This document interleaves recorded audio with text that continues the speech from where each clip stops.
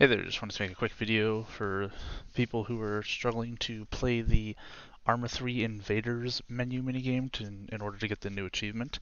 Uh, if you were like me and had the game 100% completed on achievements and this achievement kind of ruined that for you, this can be your solution.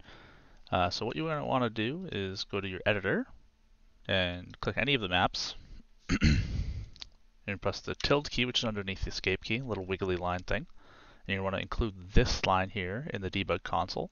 I'll put this in the description so uh, you can just copy and paste it. So first you want to start with this being a 1. Click local exec, go back, change it to a 2, local exec again, and then you can close the Eden editor. And then now, if you give it a second to just load up, your tank should drive on the screen, and you can play the event as if there was a sale going on.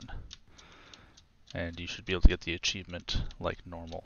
I have yet to get it because this game is a lot harder than it looks though, so good luck.